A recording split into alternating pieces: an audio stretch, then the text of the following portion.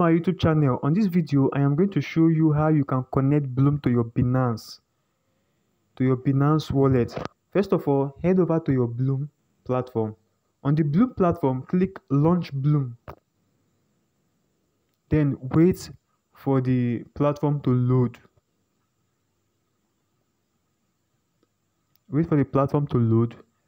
As soon as the platform loads finish this is what you're going to do. First of all we are going to click task because all mining platform their means for connection can mostly be found in the task section. So click task.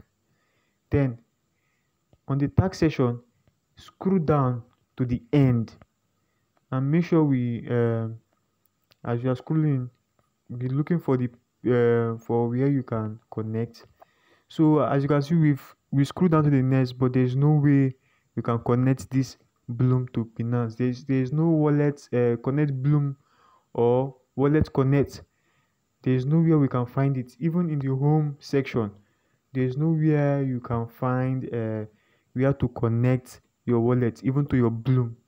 So it has it has been uh, Blum has announced that uh, there is no you cannot even connect to your Tonkeeper nor any platform including the binance they have not officially brought a network where they will launch and list their tokens on.